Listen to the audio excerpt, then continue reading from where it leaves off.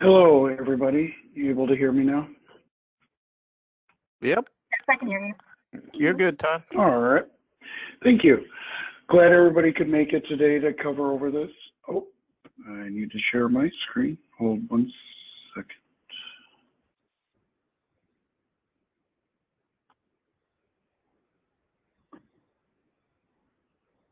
And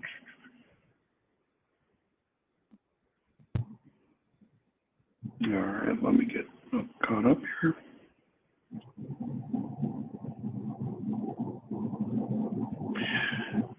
Okay.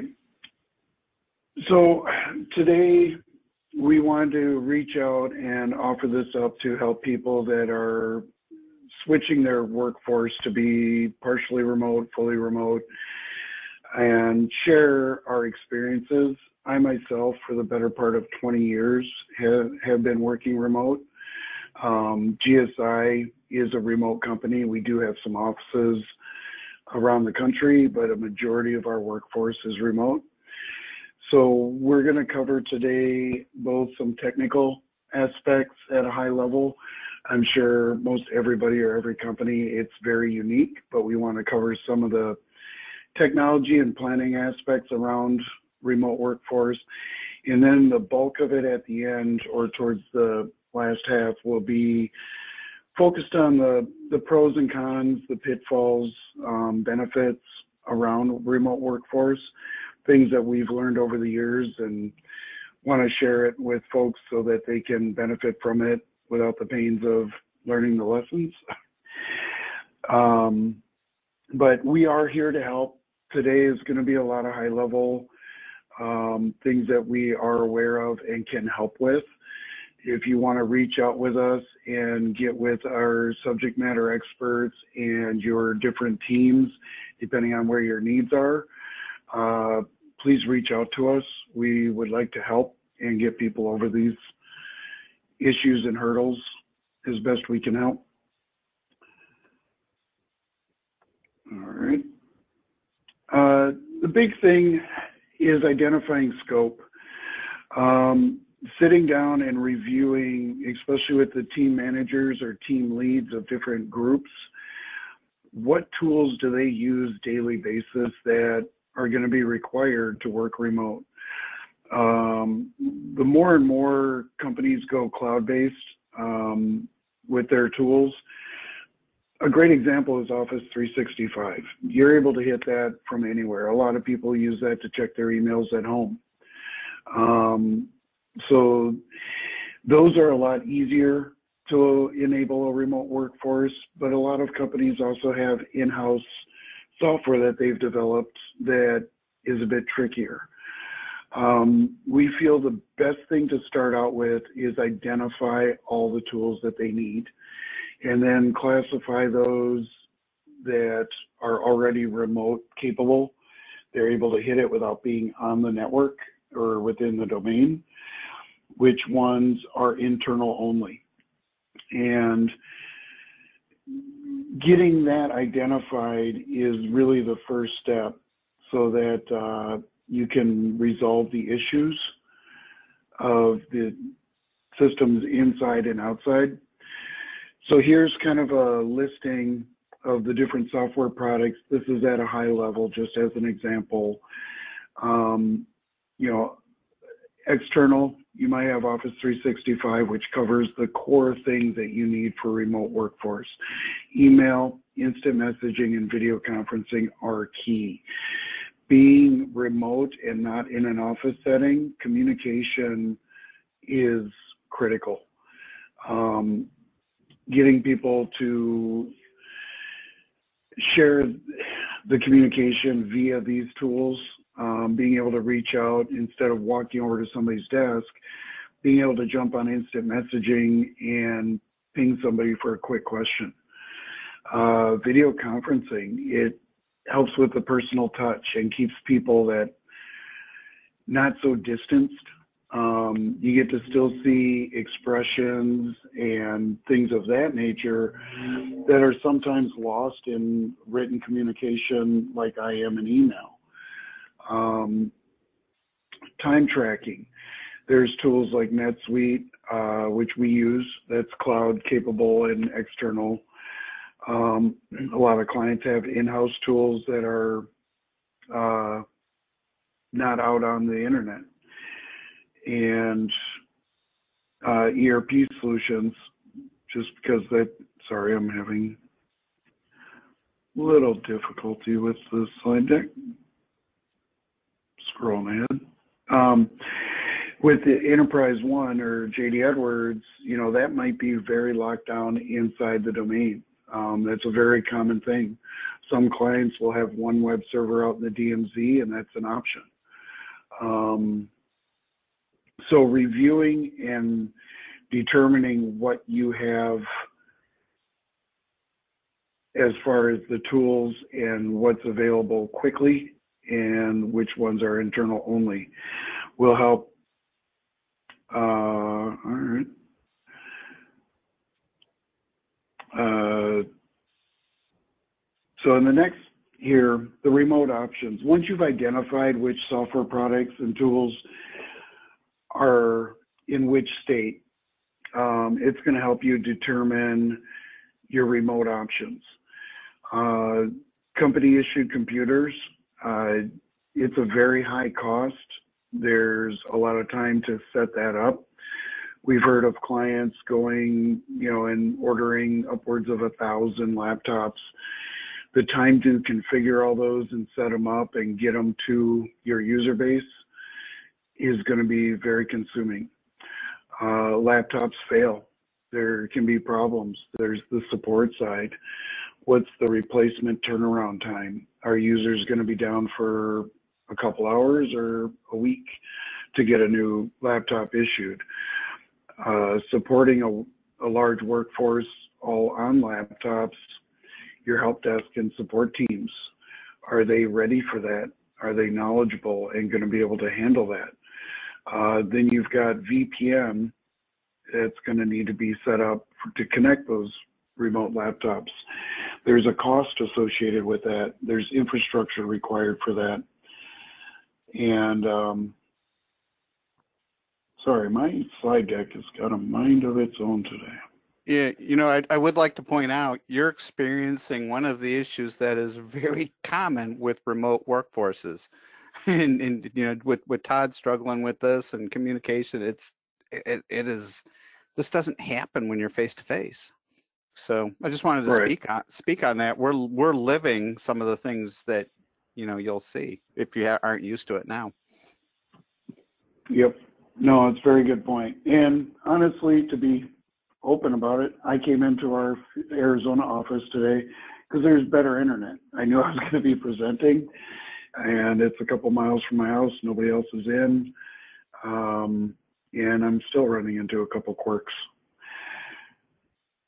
Uh, but back on this, um, you can take a look at the option of the DMZ.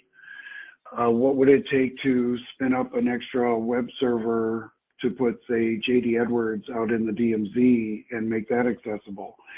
It's pretty doable, not too long to configure that.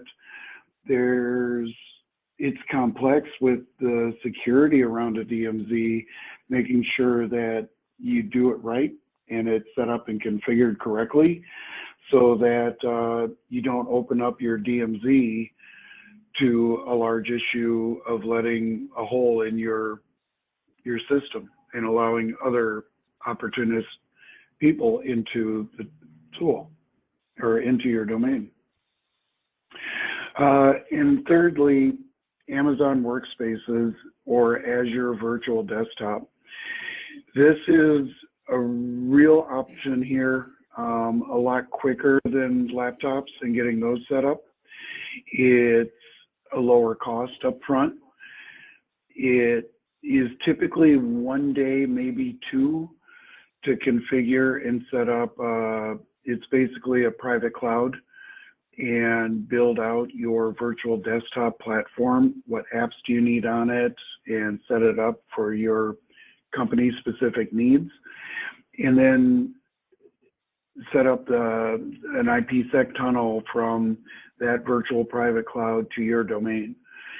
It then the users, the end users working remote would just connect in with any web browser and you're not having to deal with supporting hardware or personal computers that you don't know what condition they're in. Virus software is, you know, you set it up once on the base image and it's set. Um, if you're talking about, I know some people are looking at setting up uh, remote users on their personal computers. Your number one thing is virus software and VPN software. Is it going to work on those personal computers? What's it going to find right off the bat for software or virus issues? It's a very, very large load on your support teams.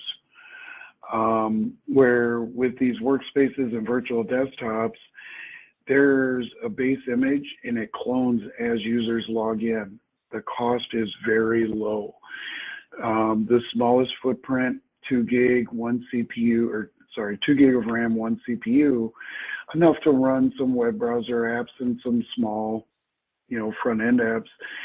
You're looking at 1.6 cents per computing hour while users are connected. The next step up, which gets into two CPUs and four gig of RAM, you're looking at around five or six cents an hour. For 50 users, uh, nine to five or 40 hours a week for a month, you're looking around $180 to $500 a month.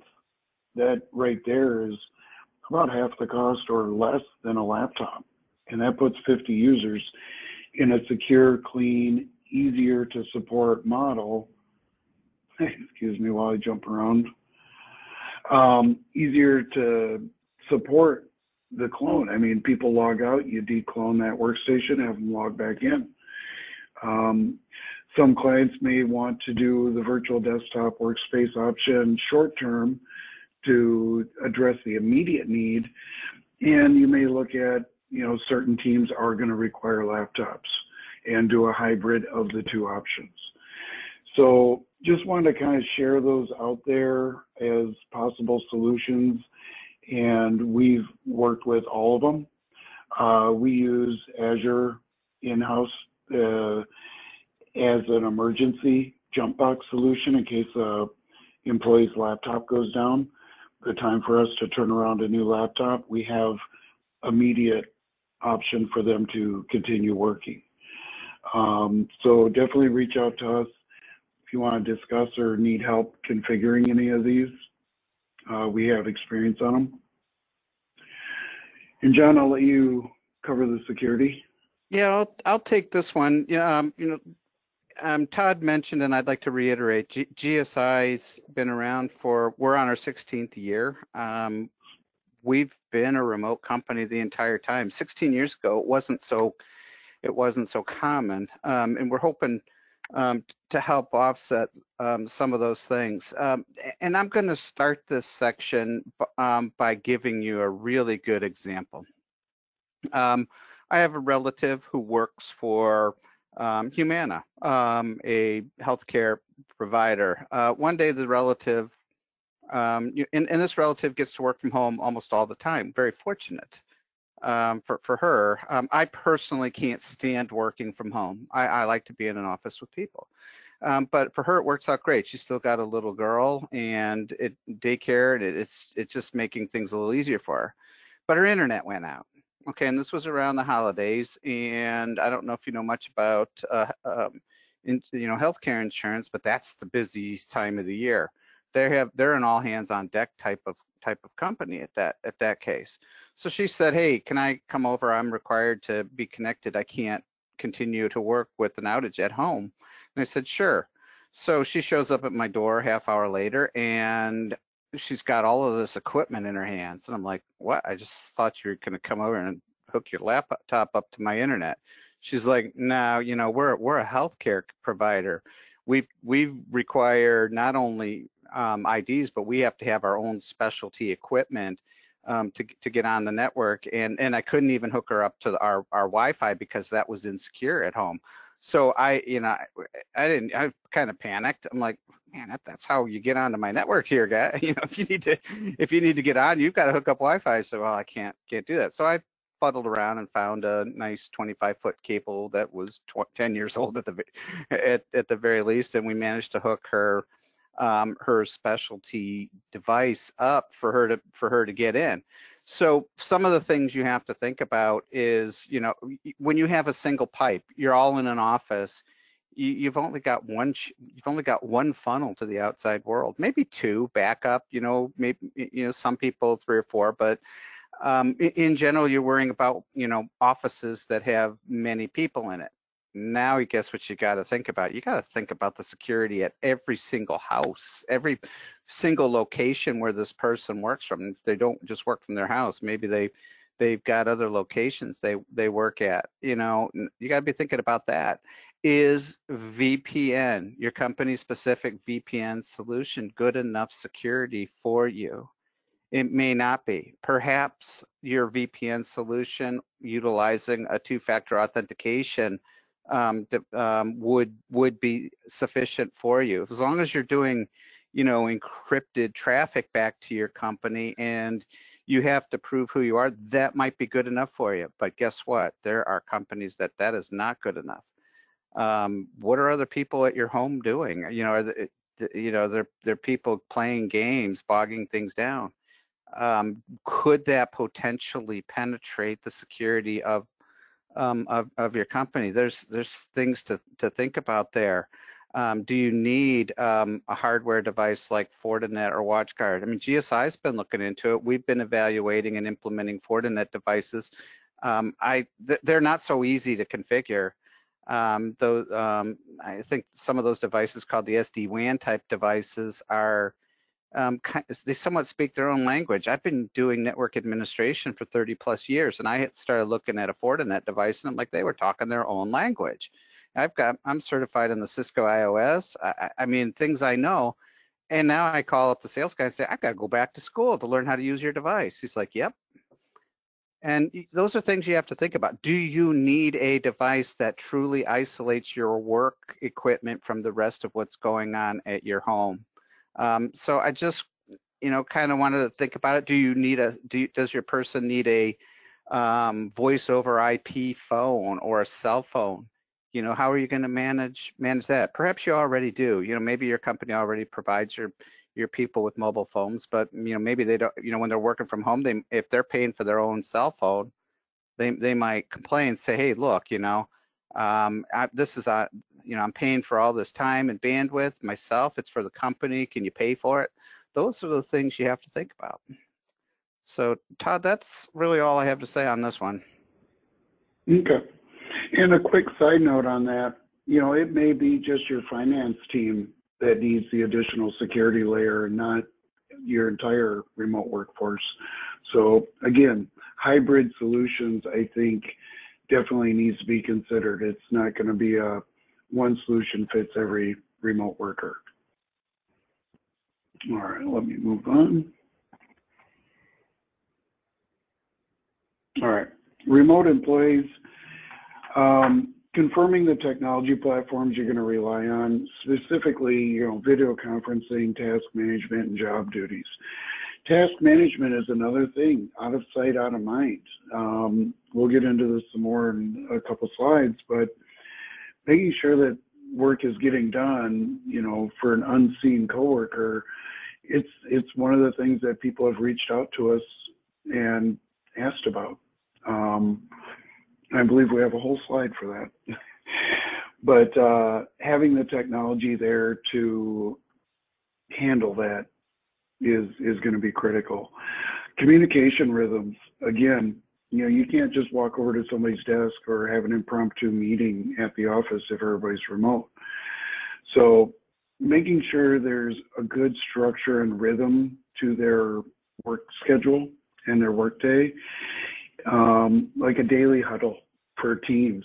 You know, we're gonna we recommend first thing in the morning where you ensure everybody's got their focus and plan for the entire day um, to start out their day. It's it's good to have first thing in the morning. Um, with everything that's going on now, we'd also recommend confirming policies on travel, sick pay, and working schedules. Can, can you be a little more flexible with the work schedule if everybody's remote? Depending on what the job duty is. Um, we have that flexibility with what we do. A lot of our techs have to work in the evening. Do we allow a two, two and a half hour lunch because we know they're going to work that evening? You bet. Um, again, this is going to be based on the different teams and, but something to consider. You know, one disadvantage to working from home is you're always at the office. Uh, when I first started working remote, I found myself working 18, 19 hours a day because it was just, I to run over, sit at my desk, and get something done. Um, but you got to have some work life balance and keep reminding your folks of that so that they don't fall into the always working and, you know, being regretting it. Um, but the ability for them to jump in and deal with something early in the day or later in the day is definitely an advantage. Um, make sure that you know the focus is there. Um, regularly talking to people. Again, communication is going to be so critical with remote workers. Um, keeping their focus and making sure everybody's on the same page. All right. Um, ensuring accountability. Uh, this is a big one. This is one that we've been asked quite a bit about over the past two weeks. Um, as I had just said, beginning the day with team touchpoint calls. What's the plan for the day? What is each person going to have tasks on their plate? Um, it's a very good cadence. We do a lot of our team calls first thing in the morning with the different teams to ensure everybody's got their plan on the same page and following up from the previous day. Uh, very similar to development scrum calls. What did you get accomplished yesterday? What's your goals today? What are the roadblocks? And everybody on the team has input, visibility, and knows what people are working on. It's critical. Uh, instant message responsiveness reaching out and pinging users in your team on IM and gauging their responsiveness. Does it have to be instant? No. But reasonable? Yes. Uh, if you don't hear back from them in a half an hour to an hour, might need a phone call. What's going on? What are you working on? Um, IT admin setting up group policies for instant message to show an away status when they're idle um, implementing that if there's no activity on the laptop or VM or virtual desktop, however they're, you know, whatever they're utilizing for a workstation, to go idle in screen share mode and lock screen. For one aspect, it's secure. They walk away, you don't want somebody else in the household come over, a child, bring up something and download anything. Um, so it's a security factor, but it also will be reflective in instant message. You'll quickly be able to see your team and if they're away or busy or screen share or available. Um, it's a really good way to ensure accountability. Meeting minutes. Um, ours has really grown over the years into a very very good standard. Um, right at the beginning, we have attendance. So I know the people that run the meetings at GSI, we will prep before the call and list out attendees that were invited. And we quickly, you know, five minutes into the meeting, will update who attended. We might review it at the end of the call and, you know, somebody joined late and, you know, just mark it that they were there. Um, it's just easy to gray out who didn't make it. Um, that helps for accountability and knowing who heard what was on the meeting, but also meeting minutes of what was discussed, what was covered. There is going to be a lot of multitasking where people aren't focused on the meeting. They're trying to get something else done because they're not sitting in a conference room. They're able to do that and do two things at once. well, they might not have fully heard what was covered. Um, so having the meeting minutes to refresh the details is critical, or the people that got pulled into something else and weren't able to make the meeting. Again, those notes and minutes are going to be very helpful so that they're on the same page. Um, setting daily tasks for individuals. There are some people that aren't good with working remote. Um, they're not a go-getter or they're easily distracted. Those individuals, their managers and you know leaders should know those people or be able to identify it pretty quickly. Um, you might have to ensure that you're assigning them work and giving them you know realistic deadlines to get it completed. Not everybody in a remote work environment is going to be a go-getter and start reaching out and asking their coworkers, "Hey, I've got some bandwidth. What else can you uh, throw over on my plate? Can I help you with anything you're working on?" Um, so keep an eye on that and identify those people. It's not that they're terrible. It's just they have a different personality and need work assigned. Um, and they may grow out of that the more they get into good work habits at home. That that might change. We've seen it happen with a few of our folks. Needed more babysitting or you know watching, and they got into a good rhythm. Um, daily or weekly status summary. Um, that I would recommend starting out weekly.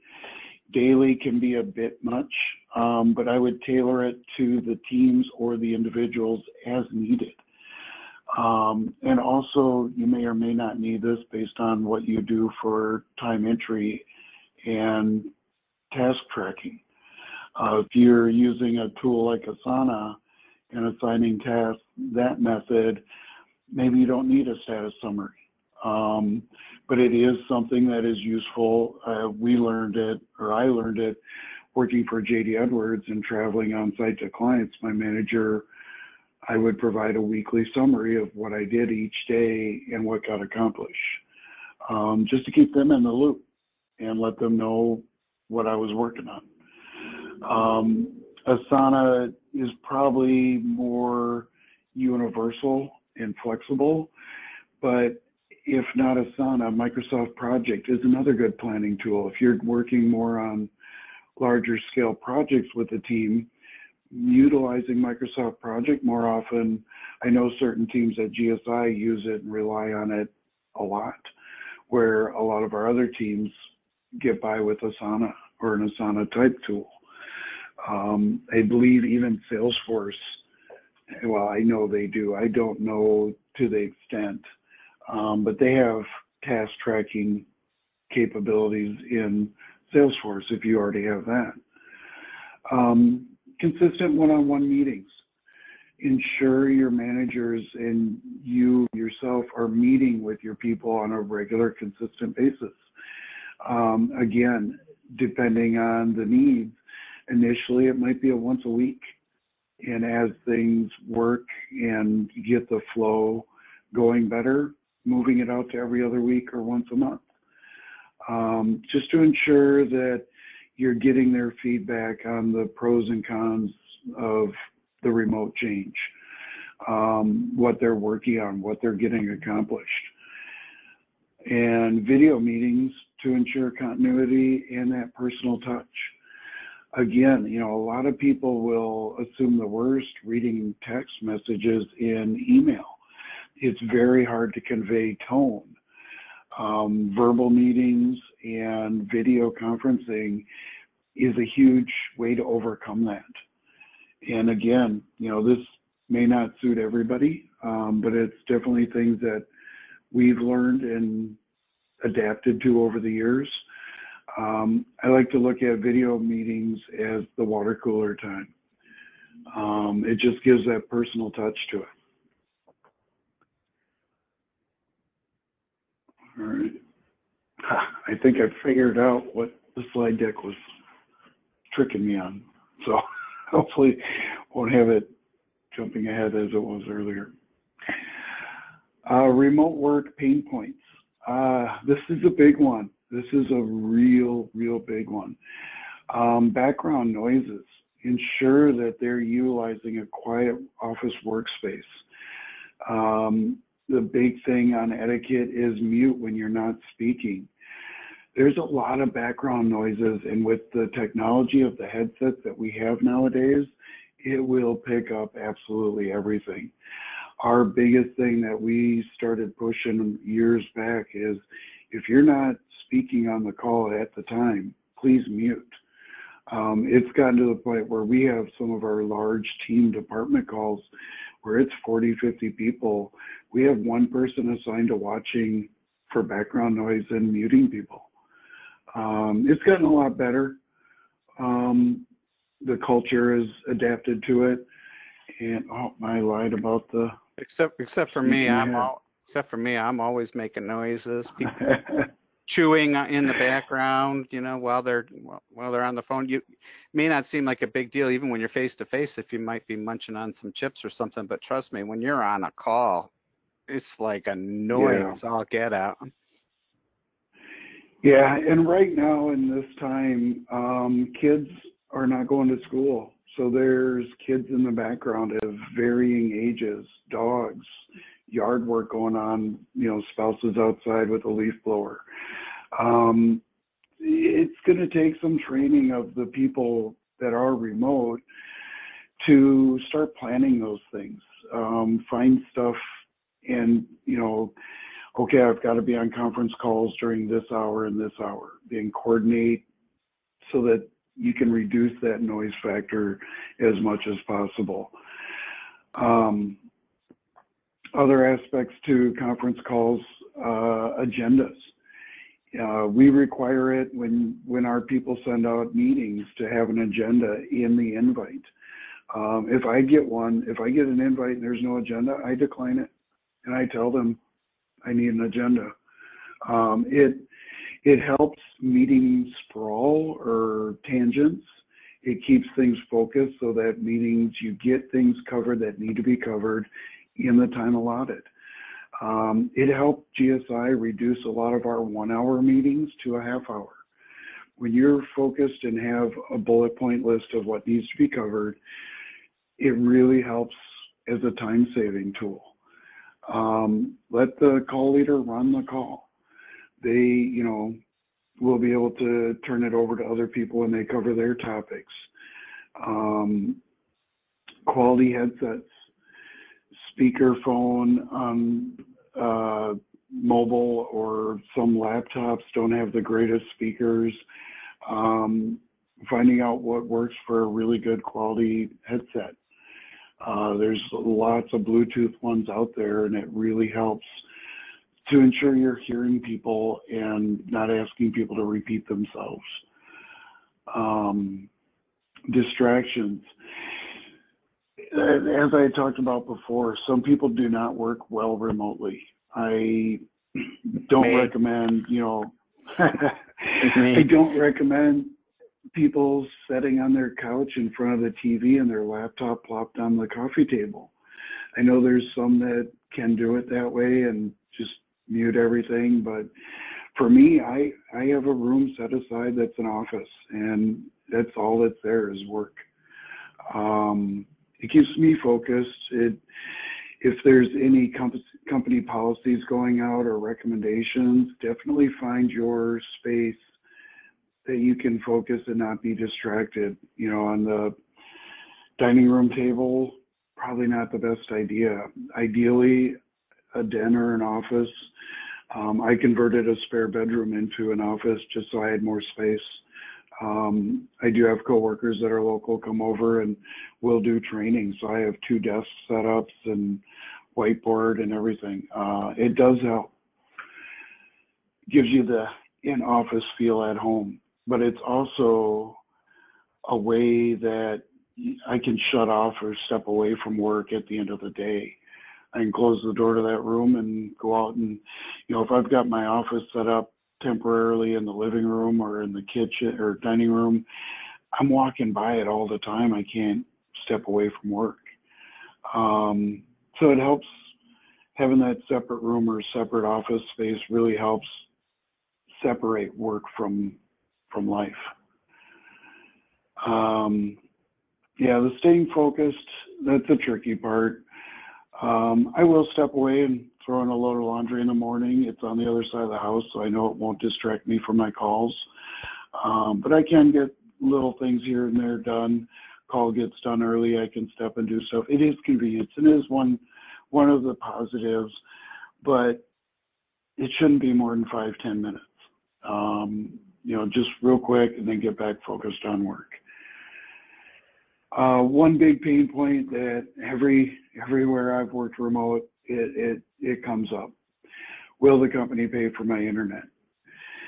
And the argument, well, now you're making me work remote. I have to, you know, I have to have internet.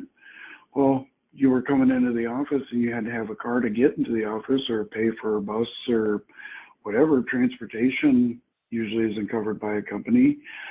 Um, most most modern day households have internet.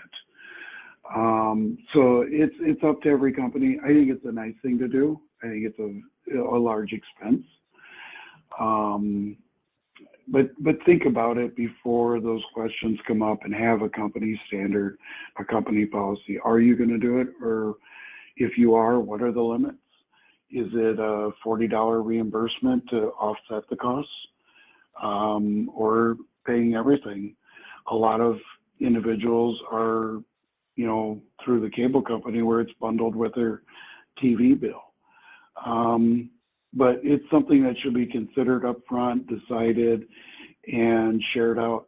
Stave off the questions and the ask later. All right, I believe we're getting close to one of the last slides here. Um, remote work perks. Uh, I personally, I feel there's a lot of perks, and if you get a remote workforce that can do it and respect the company's time and put in a hard day's effort, it's it opens up a lot of perks and options for a company or a corporation long term. Um, for individuals, there's no commute. It could be on average an hour to two hours a day they're saving of their personal time getting to and from the office. The wear and tear and cost on the vehicles, oil changes, brake pads, uh, fuel, that there's a big time and cost savings to coming into the or not coming into the office. Lunches, being able to eat and snacks at home, buying groceries instead of going out. When I worked out of an office, you know, 20 years ago, we'd all go out to lunch and I mean, we'd spend crazy amounts. You look back over a week or a month, that was a large expenditure out of my pocket. Um, for a corporation allowing remote workers, you've got the lower carbon footprint that you and your employees are putting on the planet. That's a big positive. Relocation options we've got users that relocate all over the country, be closer to family, be in a nicer part of, you know, the U.S. Their spouse got a job offer in a different state. If you offer the relocation options to work remote and they can relocate and not have to find a new job, you're going to keep, you know, a dedicated, loyal worker. Uh, they'll probably be a lot more loyal and dedicated. The long-term effects of possibly lowering your office overhead, less employees in the office, less square footage requirement, less utility bills. You know, I worked for a large medical device company years ago, and in where corporate headquarters was, we had 20 different buildings. And they allowed a lot of remote work and were able to cut down the amount of buildings that they owned and paid for. Um, so communicating out, I believe at this time that things positive and are, this is like a test bed or a trial to open the opportunity to be a long-term option. And with that, I believe we, oh, next slide here. Um, so with this, I know we kind of generalized a lot of it. Um, there, we can't get real specific because it's client specific or company specific. But if there are things that we touched on here that you want to reach out and do a one hour consultation with our subject matter experts, let us know which topics and which pain points that you want to cover. And we'll get a call set up with the right individuals to talk in more depth and more detail to any pains or questions that you might have. And with that, Brittany, I believe you can take control back and we can open it up for Q&A. Yep, thank you. Um, let me just get my screen showing here. All right, perfect. Um, thank you, John, Todd, and Josh. Now I'm just going to cover a few follow-up items and then we'll move on to our question and answer section. Our educational web webcast today is a part of GSI's free ongoing educational webcast. We have a couple of upcoming webcasts here you see, um, and then you can also go to our website. Here at the um, at the bottom, you can see where to go to register for those.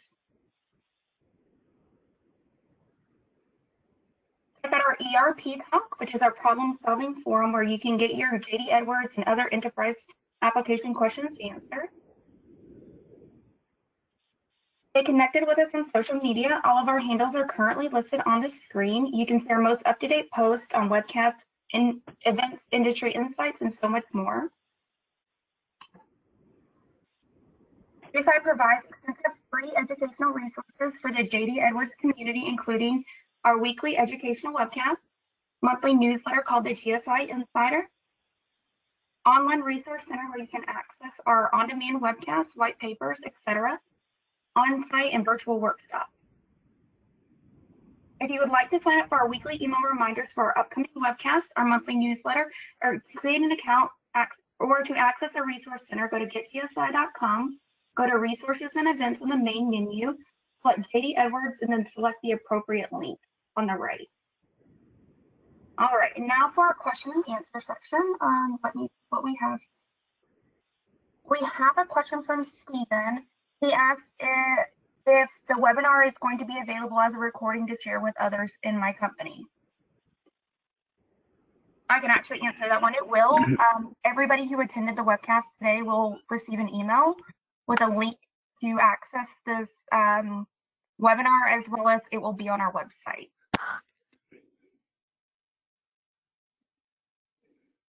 Okay, and we have a question from Alex. Um, we are feeling overwhelmed with this new territory. Where do you re recommend starting?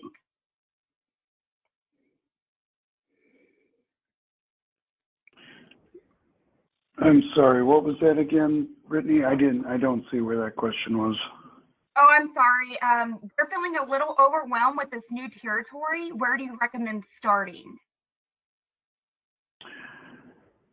Um, the first thing, as far as starting is identifying what what tools the teams that you want to be remote are going to require and how they're going to access it.